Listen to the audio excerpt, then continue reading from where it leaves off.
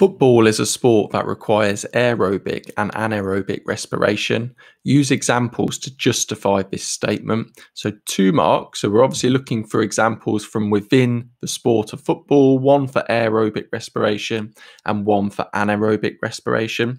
So, for aerobic respiration, for mark number one, you might talk about how long a game lasts. So, a match lasts for 90 minutes, and throughout this time, there is a large amount of low intensity exercise, um, or you might have said where oxygen is required. Um, an example of this is lots of jogging and low intensity running takes place throughout a game. For mark number two, anaerobic respiration is also required.